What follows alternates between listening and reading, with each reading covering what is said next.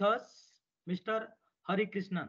Mr. Hari Krishnan completed his bachelor degree in philosophy from MG University, Kottayam, Kerala. And he completed his MSW from Bharathidasan University, Tamil Nadu. Additionally, he has graduated the degree of advanced training in systemic practice and family therapy from Institute of Family Therapy, London, United Kingdom. Currently, Mr. Hari Krishnan is working as a professional social worker with Croydon Council, London, United Kingdom. He has a passion to practice social work with children and families.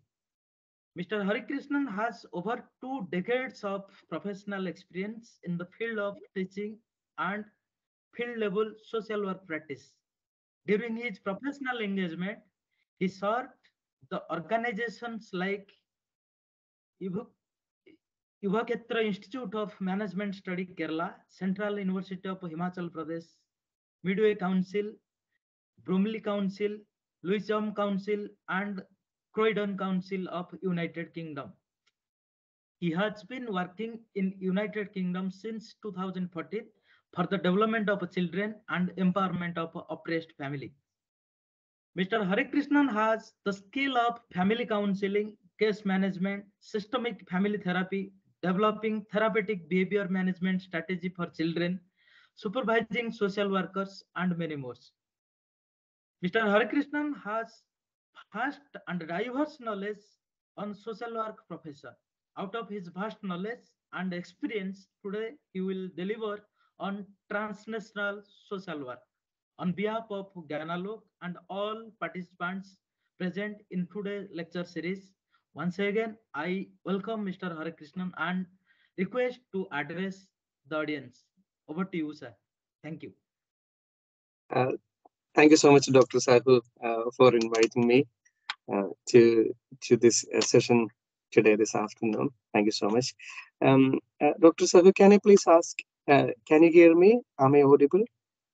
Yeah, yeah, yeah, you are uh, audible.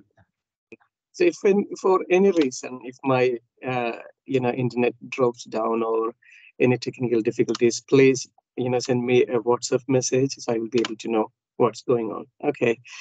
Um, good afternoon to everyone. Um, I, I can only see a couple of people's sort of you know names on the screen. Um, so a warm welcome to um, this afternoon's session. Uh, it's it's not a, it's not a big sort of you know academic session that we are actually going to be in. I would really like this session to be an interactive, more of a dialogue, discourse kind of a thing, um, because I'm not an academician. Um, I'm, I'm, I'm an individual social work practitioner who had all the upbringing, all the education right up to masters in India. Um, and, you know, I'm a dropout from uh, sort of PhD program uh, from India. So you can see that I'm not a great academician. I, am I'm, I'm an individual social work practitioner, so to say. So um, my I'm going to share my experience, my reflections, and you know my perspectives on and my understanding of what is transnational social work. Um, you know, uh, from, from, from an individual point of view, from, a, from an individual practitioner's point of view. Um, Dr. Sahu, thank you so much for uh, giving me a, a, a, really good introduction. Um, and I, I, know I don't deserve all those things. Um, but thank you so much, Dr. Sahu. And um, a very big thanks to Dr. Pradhan, uh, my personal and professional mentor and guide, who has helped me to get to the place where I am today. Um, Dr. Pradhan, I know you are actually somewhere there. Uh, I can't see you, but uh, you know I touch your feet, and uh, you know I, I'll I'll start today's session with your blessings, Dr. Pradhan. Okay, and as I told as I told you, um, today's session is not um, it's not uh, an academician's outlook on transnational practice, social work practice. Uh, it is more of an individual kind of an experience sharing by um, by someone like you, you know, who had all your, all the upbringing, all the growing up, all the learning to do in India. And um, because I was not great uh, at finding job in India, you know, to get a job in India is extremely difficult. Um, you have to be extremely competitive, uh, highly skilled and talented, um, and you need to have a touch of a, a touch of a luck to get a job in India. And I couldn't find. I tried for a couple of years to get a job in India as a good social worker, and I couldn't find. So I started looking for jobs elsewhere, um, and you know, luckily I could find um, a job in the United Kingdom to practice as a social worker. So here I am today. Uh, so uh, let's actually start with uh, a little bit of an understanding of what is transnational social work practice. Okay, so the word, um, uh, Dr. Saib, if you can just move to the next slide, please. Yeah, it's okay. As you can see, the, the exploration about transnational social work practice actually, I don't mean to say this is the first use or this is the exploration where it started. I would like to say that this is what has been documented in the history, uh, you know, of social work practice in the last two, three decades. So there may have been people elsewhere in the globe, you know, uh, you know, in some other part of the country where they may have used the term transnational social work, but may not be in English. Okay, so in English, in the American context, it was used by uh, James Midgley, and he actually used the term in 2001. So you can see that this is quite relatively new um, sort of a, a term uh, and, and, a phenomenon. Uh, maybe a, a, a, an offshoot of um, you know modern social work practice, and uh, as the term denotes, it is about social work practice going across the borders, you know, going past the nation's borders. Um, so that is transnational social work, um, and definitely, what do you think next is uh, interconnectedness? Because um, I was able to get a job in the UK, nearly, you know, uh, sort of a, uh, like a 10 hour flight from where I was living to work and come here. It was only because there was some kind of connection between where I was living and where I'm working at the moment. So transnational social work practice happens only when there is interconnectedness. And interconnectedness um, is all about, you know, is a it's between, you know, it's bet, it's about the global institutions and, uh, and and the movement of people, movement of ideas, movement of, you know, um, you know, all that can be moved across borders. And and that interconnectedness definitely influences our profession, social work profession, and our profession also influences this interconnection. Dr. Pradhan um, was the one who actually taught me about social capital. And social capital is all about, you know, interconnection, the connectivity. And at the moment, I'm sitting in my uh, room here today in England, in the southern part of England. I'm able to actually talk to you in real time. You know, you can see me, you can actually listen to my voice in real time. That is actually called interconnection in the proper sense why this this this was possible? It is possible because of because the world has actually shrunk because of globalization. Dr sahu can you please move to the next slide please?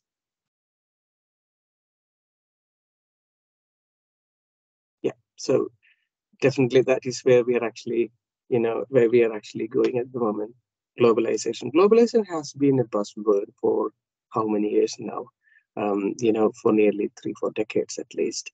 Um, globalization has shrunk the world.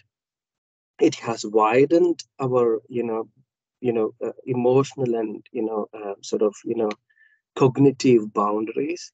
It, it has, it has actually brought people together so that they can share um, their lives, so that they can share their ideas, understandings, you know, knowledge, um, information, everything, including wisdom.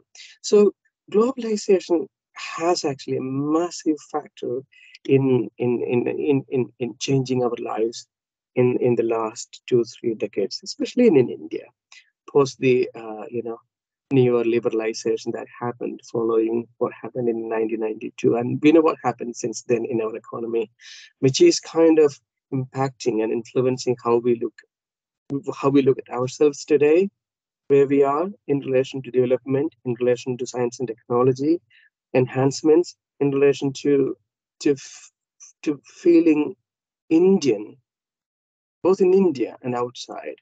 You know, so um, globalization has changed our lives. It has changed our our day-to-day lives. It has changed our relationships. It has changed, uh, you know, multinational relationships. Globalization has actually influenced everything that is tangible in today's world. And in the in the last couple of years, we had the pandemic, you know, crippling our um, our Earth globe, and it has had its impact on how a globalized globalized uh, kind of civilization finding its way to connect to people virtually by digitalize, digitalizing itself, digitalizing the economy, digitalizing uh, you know social interactions, digitalizing everything. You know there are pros and cons to it. That's a, that's a debate for another afternoon or evening. But globalization and the post-pandemic era digitalization has definitely, definitely, uh, you know, impacted on our life. It is still impacting as we are talking. You know, who thought back in 2015 we would be able to actually be in kind of a real-time situation? I'm actually accessing Microsoft Teams on my mobile phone here because my laptop was not properly accessing Microsoft Teams. I'm able, I'm able to access and talk to you in real time on my mobile phone sharing in PowerPoint presentation because of digitalization. Um, and this, this is changing our lives today. And as you know, social work is a profession that is very much, uh, very much responsive, sensitive to what is happening outside. Why? Because the most important tool that a social worker uses is one's own self and and, and ourselves myself and yourself you you cannot be you cannot be a static phenomenon. You change you keep changing. You keep changing all the time. You get transformed all the time. You renew your positions. You revisit your convictions. You change your life pattern. You get transformed all the time as a person as a husband as a father, as a practitioner, as a professional, you know, you get transformed all the time. That is the reality of human life. And why transnational social work is influenced by this process and is influencing this process is because you and I, we use ourselves as the most important tool in our practice as social workers today. We do, you know, even before laptops came into play, even before mobile phones came into play, we, we were social workers. We may have called us, you know, different names, different titles, but we actually, anyone who has used their self, their understanding, their ability to connect to people for the betterment of the other, for the enhancement of the other, was a social worker always and will always remain a social worker. So why globalization and digitalization is impacting our profession today is because you and I are, you know, we are being influenced by globalization and digitalization. So, uh, but when you come back to understanding and looking at transnational practice, uh, of you know, transnational social work practice, um, there are two different ways of looking at it. Um, and one is especially okay let, let, let, let us go to the next slide and then i will i will explain. Dr Sagar, please next slide. Yeah thank you. So uh, you know i can only talk about uh, you know india and uk because that is my evidence. I have never been doing i have never practiced social work in any other country. So you know from my experience and I, what i have seen um, by being and by working uh, as, a, as, a, as a professional social worker in the UK, I look at transnational social work practice from two different point, point of views. One, professional social workers, qualified, experienced professional social workers coming to the UK to practice their social work. That is one. Two, a number of people migrate to the UK every year, every day. People do come to this country for studies, for higher studies, for making a living, for asylum seeking, as refugees, as high level professionals, as businessmen.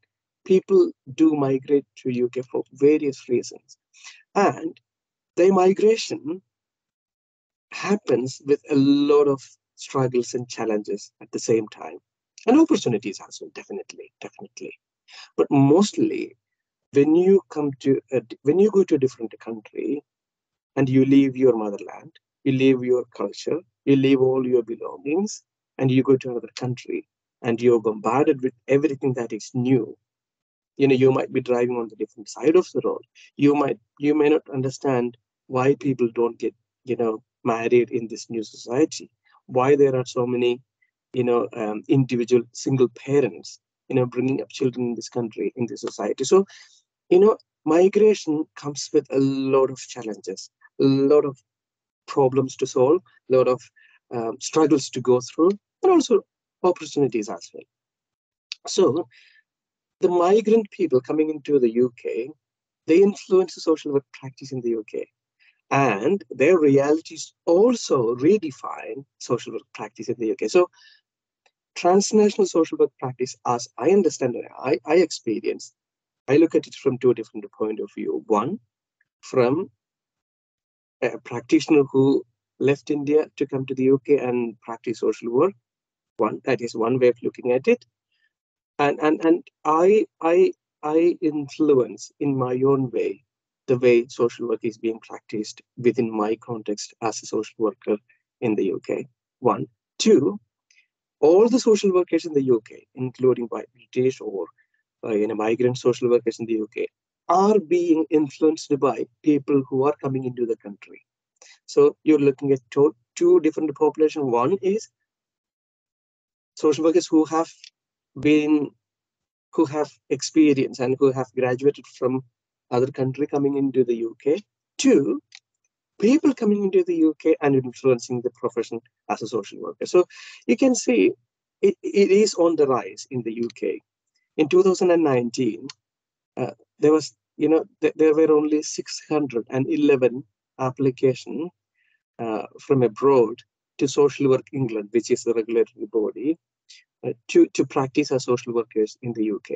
That has gone, that has you know, that has gone up to 1,684 in 2021-22 period.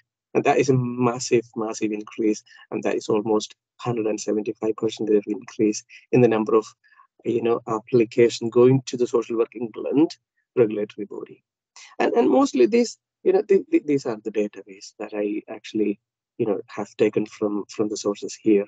And practitioners you know, those who have been applying to Social Work England recently are from Zimbabwe, India, and South Africa, and, and so on and so forth.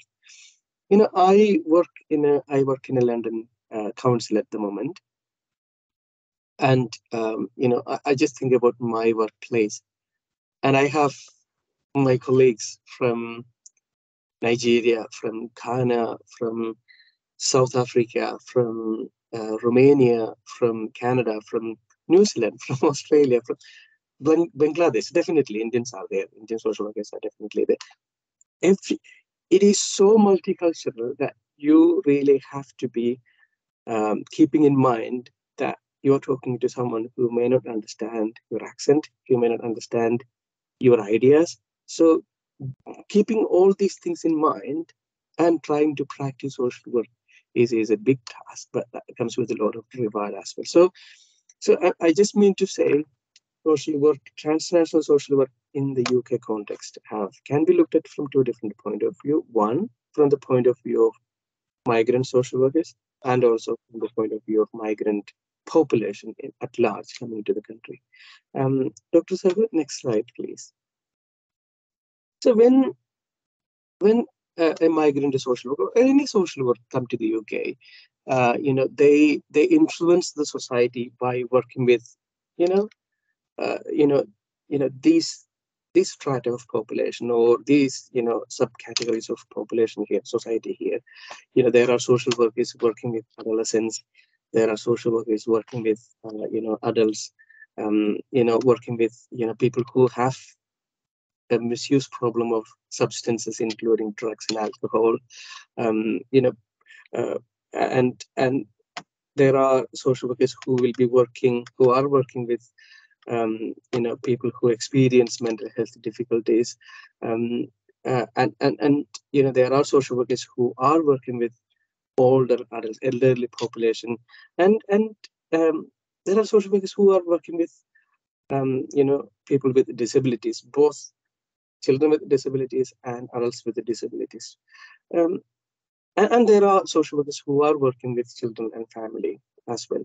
And see th- these are major broader areas of social work practice in the uk I, I don't mean to claim that this is an exclusive list. This is not comprehensive because social work as you know is ever enhancing ever expanding profession because we practice our social workers by responding to the reality of human beings outside there human lives outside there.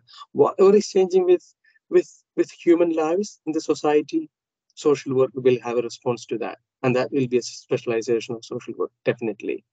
Um, and nowadays you know um, there are uh, you know organizations in the uk bringing up uh, a new kind of social work which is social work with uh, unaccompanied asylum seeking minors in the country. So children being trafficked for various reasons into the uk uh, they, they form a big part of you know a, a significant part of, of, of the children that we work with uh, especially in the southeast. And and and there is a specialization actually being formed at the moment probably being kind of you know in in the pipeline and, and there are practitioners who are specializing in that. So social work is is is a very live profession. It keeps reviewing itself. It keeps reshaping itself. It, it keeps evolving. It keeps evolving with, with you and me. It, it keeps evolving with the society. That's what we do. Um, so dr sahib next slide. We'll be switching you know between these two slides. And I, I don't want to go into the details of these slides. You can actually you have you all have the slides. I would rather like to actually keep talking about the social work practice. Um, if anyone has any, any any questions for me please raise a hand. Um, you know, I'm more than happy to actually, uh, you know, keep discussing. Uh, I'm moving on to the next slide. I just want to do this just to explain how um, transnational social work uh, can be or is practiced by way of super specialization. Because this is how social work is practiced in the UK. And this is just an example of, um, you know, super specialization within the children and family social work in the UK. You know, I keep referring, sorry, I keep referring to UK because I live in the UK and I work in the UK and I don't know anything about the other parts of the world other than India. So, um, and I try to explain and I try to look at the transnational scenario from a UK context, being an Indian social worker in the UK. So, in the UK, because social work practitioners who are practicing within the statutory sector have a statutory responsibility to make sure the welfare and the safety of the service users that they work with on a day-to-day basis you know is kept up you know is kept is very well intact for all of them. So safety welfare well-being and development. These are the main four things that every social individual social worker has to keep in mind when they work. And you know i'm trying to go deep into the sub specializations within children and family social work because that is what i do on a day-to-day basis here in this country so within children and family social work and if you actually get a job in the uk and you come to the uk these are the major sort of eight, nine different super specializations that you will be working. And to understand each specialization, I think you, I think you should, you unless you are an intelligent, you know, super smart person, you need at least three to six months of hands-on practice to understand how children's duty team carries out their individual day-to-day tasks. How an out of hour OOH, sorry, I have used some acronyms there. OOH is out of hours, EDT is emergency duty team. So practice as a no out of hours or emergency duty team social worker, that is another specialization. To work in the early help team, that is another specialization. So all these categories here that come within the children and family social work, it has its own modules, has its own timescales, has its own practice modules, has its own uh, its own expected outcomes and, and intervention modules as well. And I will be honest, I know just about number five and number eight. And I don't know even, I don't anything know about the second part of number eight, which is adoption. I haven't done adoption. I have only done number five, which is child in need and child protection. And I have only done fostering. So I have, I only know about three different, three specializations within children and family social work. And, and that is enough for me because that in itself is a lot for me to explore. Um, Dr. Sugar, can we go to the next slide, please?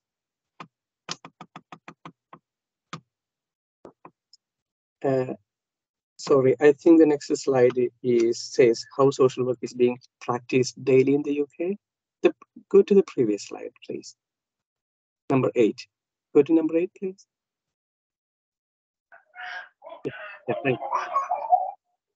So um, as you can see, as you can see, um, when when we practice social on a day-to-day -day basis, these are the major things that I keep in mind. Okay, um, because social work in the UK is a statutory kind of, we work within the statutory public sector.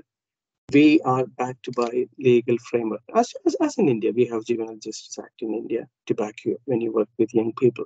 Similarly, you know, there are acts and legal, you know, documents that you have to keep in mind when you practice on a day-to-day basis. You have to keep in mind what are the laws and regulations and guidances. You have to keep in mind the practice modules. So there are various types of practice modules for individual day-to-day -day practice. And that differs from one organization to the other. It could be Signs of Safety with one organization and in a systemic practice with the other. And then there is, you have to keep in mind relational and humanistic side or humanitarian side of your individual day-to-day practice. This is where I find um, in Indian social workers excel, you know, uh, in, in most of the time. And I don't mean to say we are not good in other parts. We are, we, we are definitely good in other parts as well. But when it comes to relational, humanitarian social practice, we are, uh, I have seen Indian social workers excelling very well in, in, in that regard because we, because we grow up in a multicultural, um, multi-linguistic, in a multi-religious society, which is India. You know, India is so diverse that when, you know, I, I, I'm from Kerala and I was doing PhD in Himachal Pradesh and I used to travel by Himasagar Express from from where I was living to Pathankot and then catch a bus from Pathankot to Dharamshala. That was a crisscrossing of going the train going through so many so many states. And when the train passes from one state to the other, you actually people speaking different languages, people eating different food, different you know dress code, and so on and so forth. But one thing that held us together, keeping us together, holding us together, is the fact that we are Indians. And Similarly, it was easy for me to understand, okay, even if I'm talking to a black Caribbean person or a white British person or someone from uh, from you know from down under from Australia, I'm able to connect to them despite all the differences. I'm able to connect to them and I'm able to relate to them because of my you know my experience of living and growing up in India, which is very very diverse. And the other thing that we do on a day-to-day basis is needs assessment. And needs assessment is the crux of, of individual social work practice, I would say, um, because from one hour to the other, from one client to the other, the needs do change. And as a social worker, you keep assessing their needs. And these needs could be their welfare needs, could be their safety needs, could be a development need, could be an empowerment need, but you keep assessing the need. And then accordingly, you, you, you adopt an approach which could be solution focused or strength based appro approach.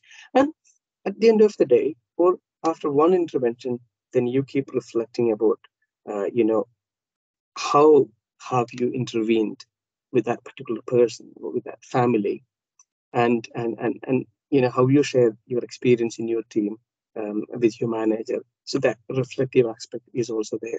So these are some of the some of the elements of individual social work practice as it is done daily in the UK. Um, please go to the next slide, Dr. Sahu, please. So I just want to actually share this slide with you just to show how well transnational social work practice can be effectively practiced by anyone, anyone. You know, the fact that you have had all your upbringing, all your growing up, all your education in India doesn't limit you as, as an individual practitioner. You can go to Africa and you can practice social work. You can go to Europe and you can practice social work. You can go to Australia, America, North America, South America. You can go to Russia. You can go anywhere and practice social work because the values that we uphold, the persons that we connect, the, the individuals that we relate on a day-to-day basis, you know, they have similar needs. They have similar problems that they go through. And, and because we are able to relate to them on a day-to-day basis and because we are able to actually be with them on their journey which could be really really tough really really tough but we can transnational social work practice is possible for anyone here is a beautiful example of Miss Vidya Baiju, who was awarded in 2017 Social Worker of the Year in the UK award. And, and what does she say about her practice? This is something that I really like all of you to pay attention to. This is what she says. Vidya is so passionate about the service users that she helps. She's adamant that direct interaction with service users is the priority is the priority. And that is actually something I really want to actually all of you to think about. Because when I had my, when I was doing master's in social work, I felt more like I was being trained to supervise a lot of things that could be going on, running an office, or, you know, it was more about, it was more about uh, sort of a, you know, preparing everything in preparing a project work, you know, running a project, implementing a project, reviewing a project, you know, preparing annual review reports. And it, it, it meant more like a managerial kind of entrepreneurial thing. But across the globe, when you think about transnational social work practice, this is the core of transnational social work practice your interaction with the person that you meet on a day-to-day basis. In the UK, for example, you know, when you practice as a, you know, when you practice as a social worker, you will be allocated cases. You know, casework, the traditional term, that is where it stems from. So you will be allocated cases. Cases could be if you're a if you're a child social worker, you may have 10 to 25 children that you will be working with. If you are an adult social worker, you may have 12, 13, 14, 15, 20, 23 adults you will be working with. And you have statutory responsibility for their safety, welfare, development, and empowerment. You will have to take necessary actions and liaise with them, liaise with the other professionals to make sure your service user has the best outcome in relation to their safety, in relation to their development, empowerment, and well-being and welfare. So th this, this is the core of transnational social practice. Your interaction with your individual client is the, is the core. That is the most significant part of, of transnational social practice, I would say. Because to, to manage, to run, to implement a project, you, you don't need this you know wide variety of skills You don't need it. You don't need it. But to be able to be effective in person to person interaction and, and to be able to understand the legality behind your practice, in you know, to be able to understand what is it that you are trying to help your individual client who may be experiencing difficulties with substance misuse. How you take them with you on that journey from being an addict to alcohol and drugs helping them understand okay there are different ways of coping with stress in your life. You don't really have to keep drinking and taking drugs to respond to stress in your life. There are different ways of responding and managing stress in your life. Come on you can do it. Think about something else. And when you are able to do that and when you're able to actually help the client sustain the positive progress you know for a significant period of time and then you report back to you know the, the, the agency or the organization you're working. That is actually valued as effective individual social work practice. And this is where social work is like you and me. Vidya had all her all her education in india. She used to she she's from kerala but she was actually um, she had all her education in Nagpur and she was working in Delhi, resettlement colonies. And then she migrated to the UK because her husband had a job and she came to the UK to join the family. And she got a job to work in, in, in, the, in the children's family first and then in adult social work later. So this is quite possible because this is what is being valued in transnational real social work practice today. Dr. Sahu? Next slide, please. Okay, when you think about transnational social practice, what makes us possible? Or, you know, from a strength-based point of view, you know, these are the things that I can share from my experience. Okay, these are things that that did help me in to actually to keep moving uh, ahead. You know, one, you have to be extremely resilient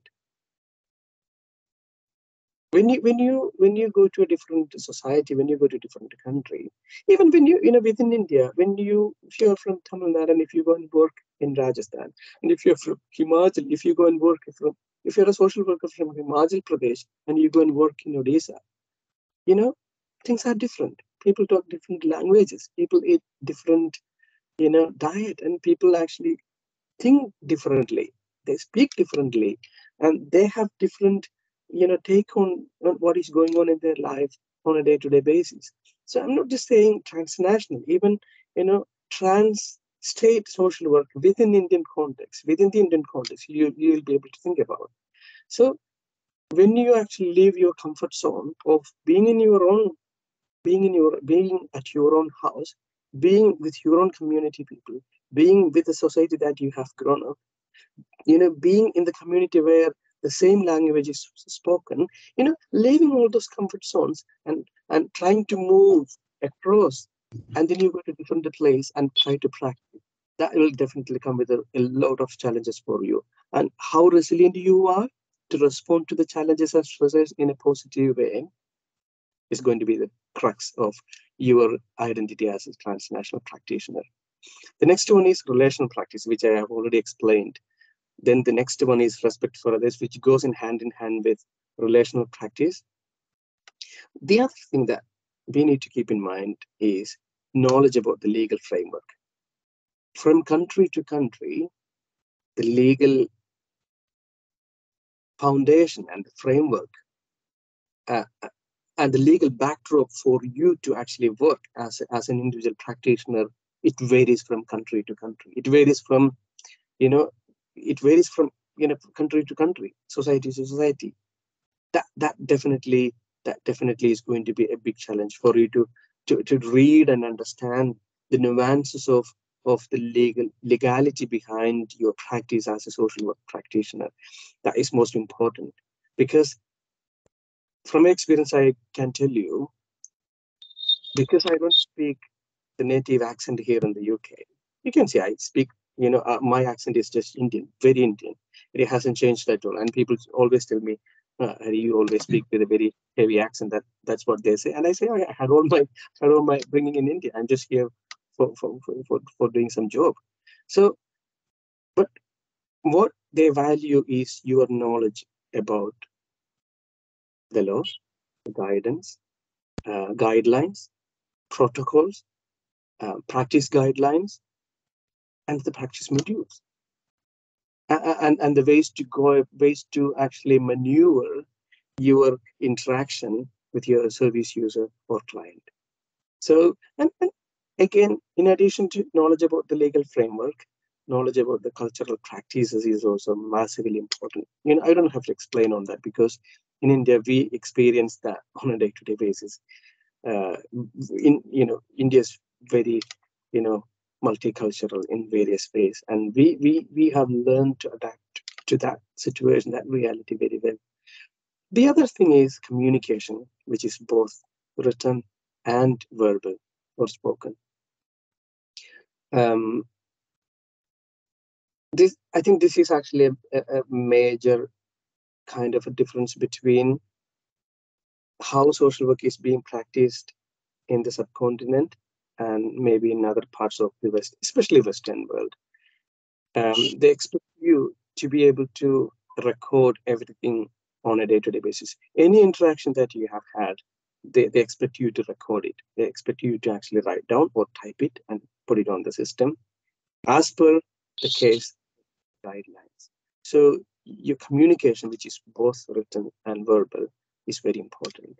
And, and multicultural awareness, which, which I have already explained. And the other aspect is analytical skills. This is something that I have seen in addition to relational practice.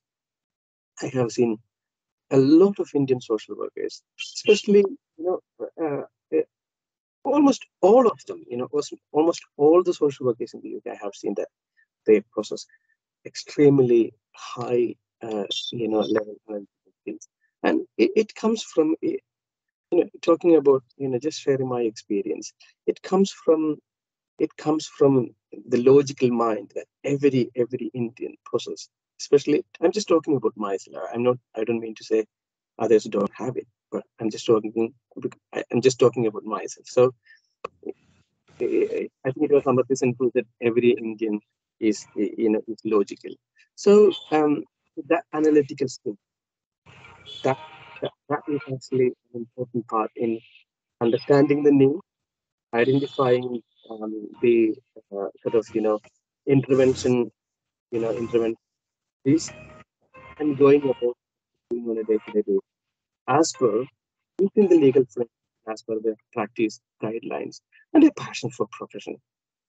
Because um, when you look at what you have lost, uh, if you are a individual practitioner who have gone to another country, and what you have lost and what you're gaining, you need to have a passion for the profession. Otherwise, you might be you might lose direction and orientation. And I have seen this, you know, with some of my some of my friends, uh, you know, here in the UK who are Indian, you know, who have had all the education in, in India. And because they lack, they didn't have a good level of passion for the profession, they have actually turned some turned to something else.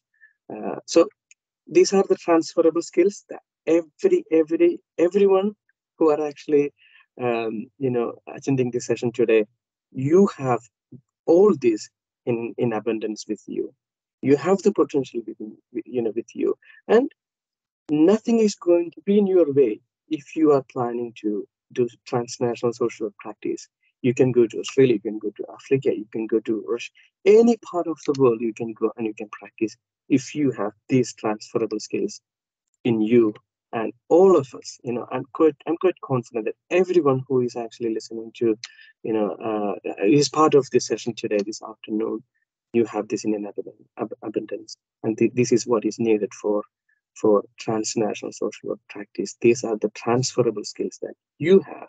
I had it, and therefore, you know, there is no doubt you will have it. Uh, next slide, please, Dr. Sahu.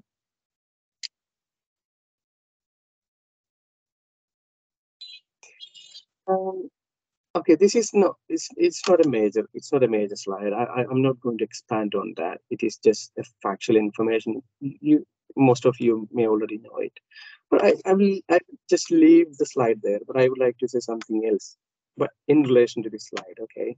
And that's why I thought of sharing this slide with me today. So this is about if you would like to give it a go in a practice social work in the UK. You know, these are the things that you can keep in mind. Okay, I'm not going to expand on that, but I would like to say something else, which is about the standardization of, of the profession, of our profession. I I can say, you know, uh, when I was when I did where I did my master's in social work, um, in our batch we had 28, um, you know, uh, 28 28 uh, you know students doing masters. And i was not the best one in the class. I swear i was not the best one at all. There, there were so many things so many individual practitioners who were doing who were actually directly involved in the grassroots level social activism and social work even when they were doing masters in social work in in the college that i was doing i did my masters in social work. And i just i just i just look at them and and i just i just say you know why why why is it that you know that that level of high quality human capital is just being left without any standardization without any any any any any any, any support without any professional support to actually to enhance their identity as an individual social work practitioner in, in India. Why is it happening? Why is it not standardized? I feel so strongly about it. I, I'm very passionate about it because um, because because we as individual social work practitioners, we do not take responsibility for standardizing ourselves. And we are leaving ourselves, we are leaving ourselves to actually go through that individual, that crisis of you know that, that, that professional identity crisis. That's what i would like to say. That's what i would like to say. See in this country uh, because i because my registration is regulated by the organization called social work england you can google and find it so, my uh, i'm registered with social work england for my practice so i need to have that registration number with me all the time and that is the evidence that I'm, I'm a qualified registered practitioner in the UK. Without that, you cannot practice social work in the UK. So once you have that, you are part of the multidisciplinary team. So if you work in, in the hospitals, in the, in the clinical setting, medical setting, and if you're a practitioner, you will be advising, the doctors will come and ask your advice. If you practice within the court setting, you will be going to court you will be arguing for the sake for, for the benefit of your client at par with with the solicitors and barristers you you will be you in any multidisciplinary team you will have equal equal footing on with any professionals in the country that gives you confidence that gives you a high level of confidence to be able to confidently uh, you know effectively perform and everyone feel happy about being an individual social work practitioner. Why? Because it is standardized. I understand there are shortcomings for standardizing the profession, but standardizing the profession is the is the foundation foundation to make you feel to make you feel how happy, how proud you are, how comfortable you are in introducing yourself as a social worker uh, you know, to other professionals. So um, I sincerely hope um, with the right, uh, you know, leadership and, you know, mentors that we have with the senior social work, uh, you know, practitioners in India, they will take they will take some, you know, steps to standardize our profession, because I think it is it is it is a professional negligence and crime on our part to actually not to standardize and and and have our own self regulating bodies to, to, to, to boost the professional standards. Because if we don't do that, we will be we will we will be wasting a high volume of multi-talented, highly capacitated human capital uh, in the form of social work practitioners in India. Um, Dr. Sahu, next slide, please. just to sum up, um, you know, this is how we started our session. by explaining in simple terms what is transnational social work practice. You know, we looked at uh, interconnectivity or interconnectedness, interconnectedness of global institutions, the movement of people, movement of resources, movement of ideas and ideas back and forth, crisscrossing and across the state, nation state borders, inner boundaries. And, and that reality is there because of the globalization and it is being enhanced by the post-pandemic digitalization and how this reality in itself is influencing and changing human lives the same way the same proportion it is redefining it is helping social work profession reinvent uh, itself. And, and and and social work also also influences the same process. Social work individual social practitioners influence the process of um, you know migration you know transmigration. In, they influence the process of you know how this how this you know um, exchange of ideas take place between two nations. So this process is actually a two-way process. It's like a dual carriageway there are you know you know vehicles passing in both direction. And our, our our social work profession is influenced by the process and you know is influencing this process. And you and i we are witnessing it. We are part of it. And and that gives you that that gives us a wide range of options to think think about your own practice. Because nothing is actually going to be standing in your way when you actually when you are determined to practice uh, professional social work in your capacity as an individual practitioner wherever you are. You know maybe after 40 50 years who knows? You know we might be going to the, to, to, to, to, to other planets. We might be going to mars we might be going elsewhere maybe interplanetary but you know what?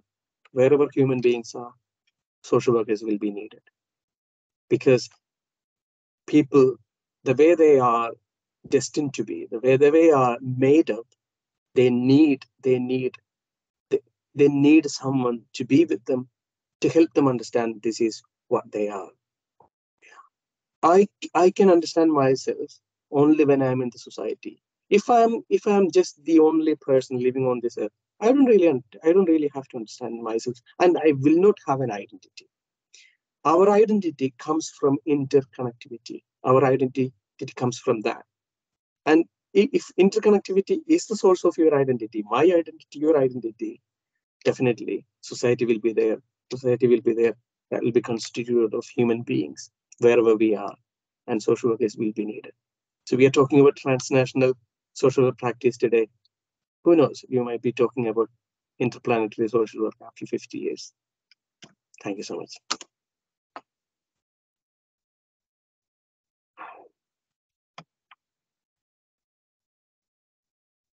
I'm sorry, I, I, like to talk and I just spoke without any without any stop. I, am really sorry. I don't know if anyone had any questions or any anything to add or you know, uh, you know, anything, you know, any anything, any comments, you know, the things that I can make things better, you know, for improvement. I welcome all of you to actually share, say something or put something in the chat box or, or email uh, or any questions. Dr. Sahu, please. Thank you. Thank you so much, sir. Actually, very rightly you told, actually, uh, standardization is the key to introduce our, our profession and to be recognized as a professional social worker, we need to have a standard framework, which we all professional social workers should focus on. And in, the, in a country like India, when everybody claims to be a social worker.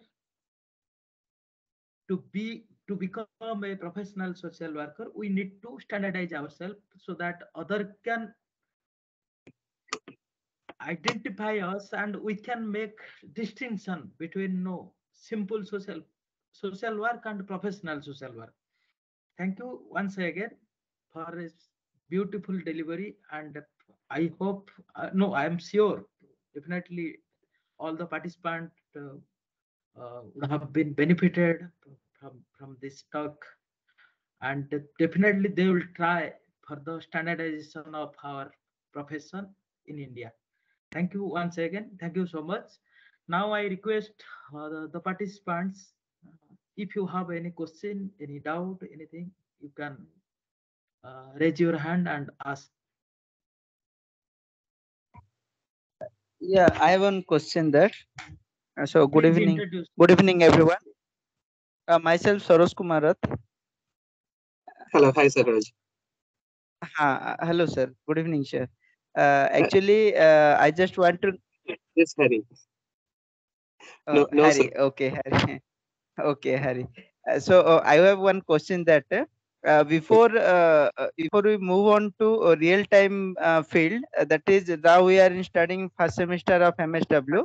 So after completing our course, so what are the steps that we must to uh, follow uh, before entering into professional field uh, in social work? Uh, that uh, where we have to start and what are the factors, what are the points uh, that we have to consider first to make a standard framework? Well, actually, I would like that's a really good question. Okay, Saroj, I can see that you are a you you are a you, you're a fantastic social worker in the make. Okay, this is not this is not a first year uh, you know social MSW uh, question. This is actually a question for all of us. See, if I'm in your place, what I would do, if I'm very serious about my profession as social so as a social worker, I will definitely find ways to do some voluntary work, and and I will definitely try to practice what I learn in my class because that you can do. See if you're doing if you're doing chemical engineering you wouldn't be able to do that on a day-to-day basis. You will have to actually go to the lab and do chemical engineering uh, experiments. But the beauty of msw is that you can you can try it. You can experiment it when you are a student. And with the guidance with your field field work coordinator or whoever you have try to do some voluntary work. At least for a couple of hours every week every week and document it and try to try to try to uh, you know collate and see what you learn in the classroom is is is actually is valid in your in your experience. Or if you- if you think it is not valid why is that not valid? Because Saroj, I would like to say so in social work practice we keep reviewing every time. And if you don't review if you don't criticize yourself if you don't revisit what you have learned you are not a good social worker. So this is where I would start if I'm in your place. I would find some I would some find some ways to do some voluntary work in the field that I would like to actually uh, build my career. Okay, if I'm going to be in corporate social responsibility, I will try to find something there. If I'm going to be in medical setting, I will try to find something there. So I will think of, I will have a clear vision of where I'm going to be in 10 years time, and I will start doing some voluntary work to see if you have the right skills and if you're learning the right thing in your class. That will be that, that's what i would do to start with.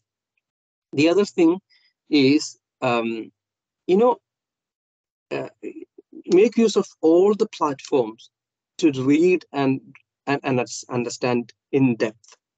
Because in social work especially if you have any plans to actually do some kind of transnational social work practice what you write is the evidence for what you have done so learn to write down in the proper way. That's what I would like to say.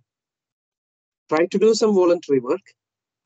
You know, compare it with what you have learned to see if, if it is valid or if it has any kind of relatability. Try to do that and try to document in the proper way because that's what you need. That is the evidence that you will have when you go go to a different place and try to practice.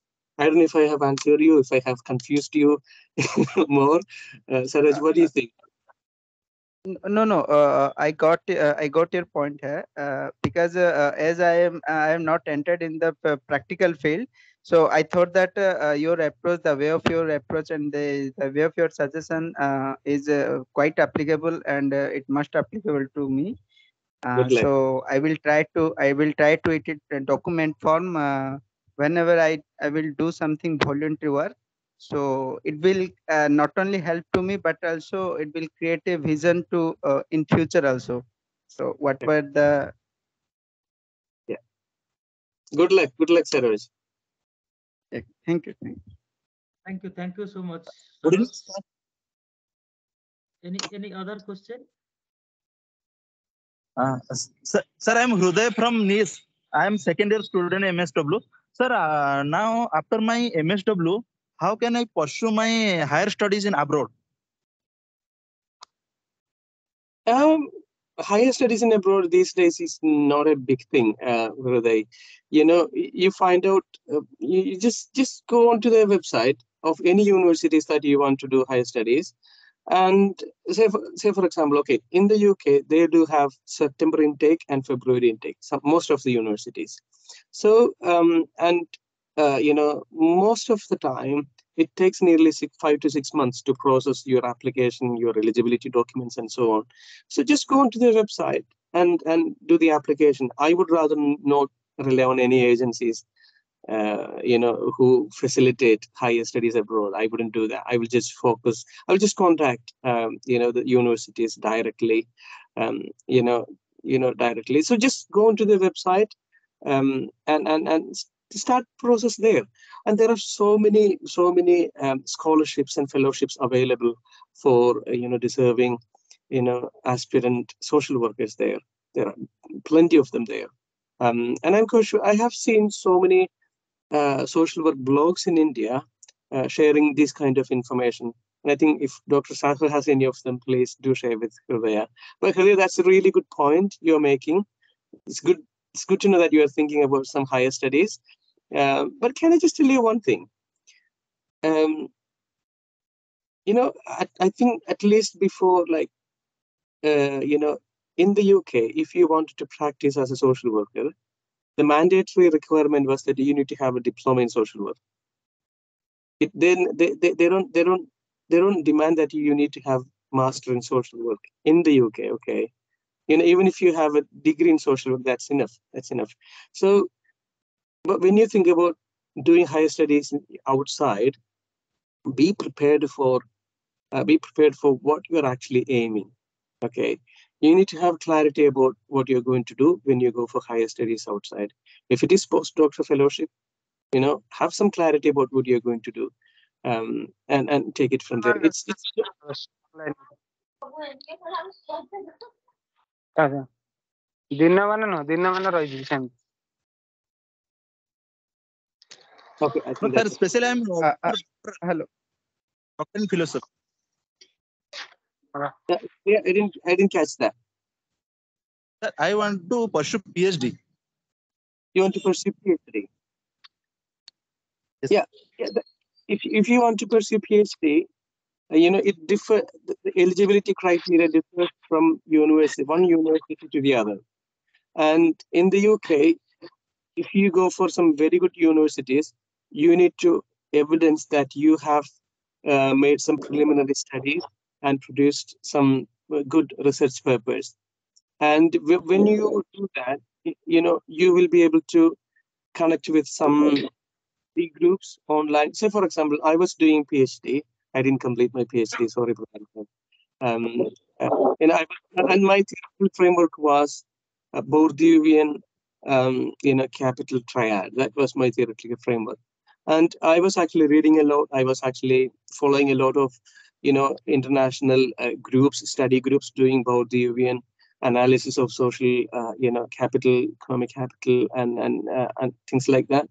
And they and, and if you follow the study groups of your area of specialization you will be able to meet some very good um, you know uh, guides there. Uh, then you get in touch with them you keep the discourse going on um, and then you know when you when you when you with a research guide individually in the study group that is a good platform for you to start thinking about doing phd outside I can only say what I have done here there. I don't know if it is the right answer. Sorry. If anyone knows the right answer, please welcome. It's okay. Thank you. Yeah, uh, uh, sorry, uh, I have one more question. Yes, yes. Hello, am I audible? Yeah, Yes, sir. you I are can audible. hear it. Go on. Uh, so, uh, so can I uh, can I make a career in uh, MSW uh, in India, or we have to uh, means I have to go uh, abroad uh, for it uh, as you said that you moved to london after searching jobs in india so uh, uh, can i possible can it is it possible to make a career uh, in msw social work in india or uh, Saroj, please share your experience yes yes That's that's a good question. You know, one of the slides was about um, Vidya Baiju, Vidya, who was actually awarded Social Worker of the Year in the UK in 2017. And what do you think? What, what, what do you think is the answer to your question?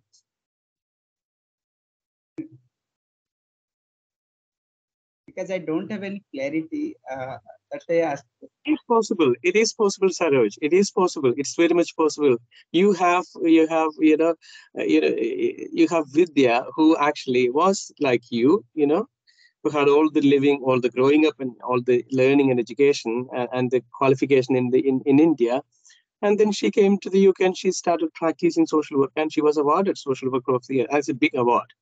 Uh, you know, uh, you know, so it's quite possible. It's all about what you want in your life and you have a clarity about how to achieve that. Those are the two things that you need. You can practice social work anywhere. It's not just UK, anywhere. so so in india it is possible to make a long career if i wish. Of course, of course, of course you can. Of course you can. But in India, it you know, India is a massive country with a, a massive population, and therefore, you know, your chances of getting uh, a good job is very minimal because that is distributed across the population. Um, so, uh, yeah, to get a job, it's just like think about IIT entrance. You know, lakhs Yeah. of lakhs and lakhs of uh, you know students write you know write uh, entrance and how many how many crack IIT? It's not the, it's they just fall behind by point zero zero zero one percentage and they don't make it. Does that mean that they're not good enough? No. It's it it it show it evidences the level of competition in, in India for good positions and good even good education. So in that way, i have to Yeah. so i have to be one among others for a job right yeah yeah. Just just have clarity about what you want to do okay? If you want to get a job in the america like in the us or in australia as a social worker or even in india do, what do you want to do? When it comes to india you will be working mostly in the non-regulated kind of social work practice which gives you a lot of freedom to practice to test to implement and and and, and experiment what you want to do um, in, in India you have that you have that freedom, but not in the other countries because here it is very much regimented practice. Okay, so that is that is the so both come with different challenges and different opportunities prospects. So you need to you need to pick your choice. Um, yeah, just keep reading, keep thinking, and keep planning. That's what I would like to say. thanks thanks Uh, May I have a question, please? Uh, just just one question. Sorry, um, Jayasree. Just one uh, just one thing to say.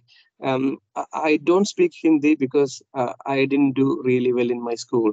Um, so yes, anyone, I, I understand Hindi, but it's not that I wouldn't be able to communicate in Hindi. Okay. So anyone who can speak Hindi, don't don't please don't say don't think you know silently thinking that you can't speak English. Okay. Any language, Hindi or Odia or any language you know, you're more than welcome. Dr. Sahu will help me. Jayasree, please Uh, go ahead. Hi, uh, myself Dr. Jayashree. I'm an assistant professor in Assam Central University. Uh, Yes, it's hi. a nice, insightful uh, session from uh, Hariji. Uh, but uh, I I believe that I also have some uh, like uh, queries that I want to address from you. This is basically for our students who wants to uh, see their career in uh, UK or maybe in other uh, countries other than India. So how they have to start their career?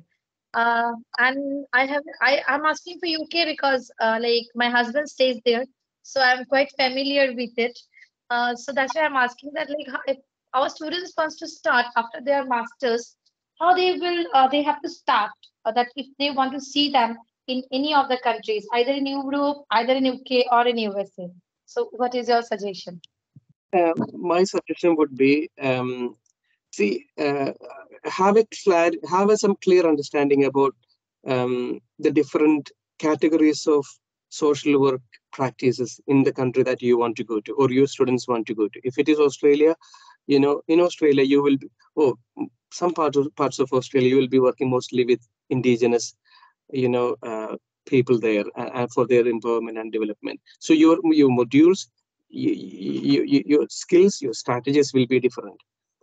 Similarly, if you're coming to the UK, then you should know your specialization and you need to pick that specialization well in advance. I would say like three, four years in advance. And because in India, we don't have a regulated uh, a track for evidencing your career um, career growth or your potential potential you need to build a case for yourself by volunteering or by gaining experience in in the similar category in India. Say, for example, um, you know, one of you know one of our uh, you know one of our students um, in in the Hima, in Himachal, Dr. Pradhan knows him very well. Um, he was very focused on getting uh, you know a job in the UK, and what he did, and he was he was very clear about getting a job in children family social work.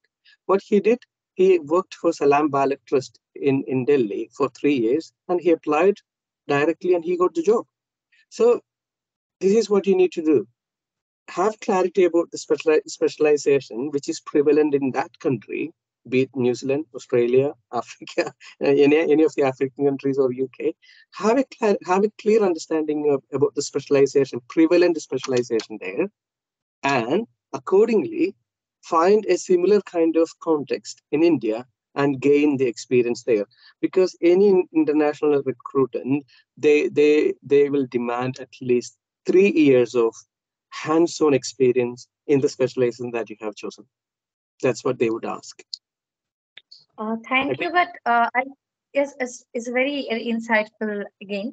Uh, but I just want to ask you that is there any job portal where the students can get or where like the, any applicant can get uh, jobs or can see that what are the criteria that they are asking? Any job portal according to you, especially for UK. I'm I'm giving the example, cite the example of UK.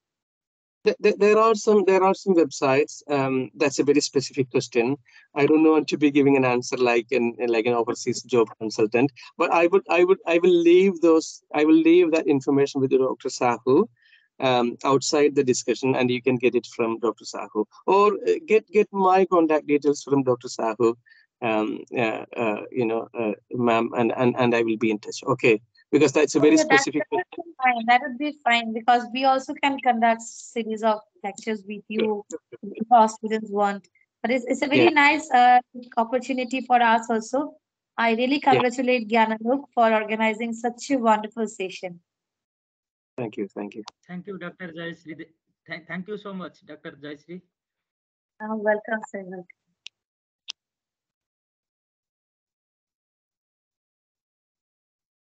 Any any other question? Anybody is having?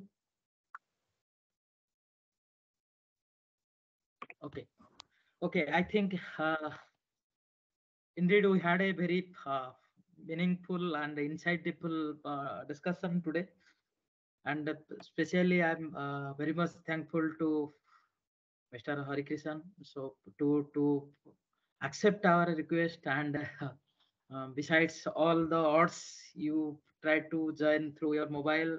And, uh, thank you thank you so much. And we, we hope uh, in future we'll uh, ask you for more supports and uh, cooperation to establish the profession and to prepare a systematic framework to make make our profession different from others. Thank you so much. Thank you all participants. For your information, I am adding one more things. Uh, as you know, this uh, uh, lecture series is uh, designed for a period of five months. In every Saturday at 6.30 p.m., we are having the renowned speakers like Mr. Hari Krishnan and many other people will be joining in different you know, session and they will be talking on different social issues and uh, fortunately, we are also having one uh, lecture on uh, getting a job in abroad.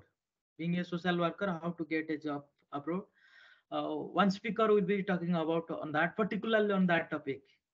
And for that reason, I request all of you kindly circulate the uh, message among others and request all of them to join because uh, I think this is the need of the hour to understand our profession, to have uh, in-depth knowledge at Mr. Jayakishan uh, said, first thing is we should understand our subject. Based on that, we can know uh, fixed our goal and likewise we can know uh, we can we can uh, shape our career, whether it is in India or outside. So once again thanking you all. I request to request your participation with a greater number in the uh, coming future. Thank you so much. Yeah, uh, yeah, I have good night. I have one request, sir. I have one request that uh, please share the PPT. Please share the PPT to our am- every every uh, every uh, for every lecture i am sharing the ppt you can now find from your email Dr. Sahu, I will I will also send some some of the uh, you know some of the uh, reading materials that I have used for preparing the PPT, so you can share that with along with the Sure, PPT. sure, Okay. sure. Uh, together i can share with them along with the ppt i can also share the reading material in in your registered email id you can get it from Gyanalok mail id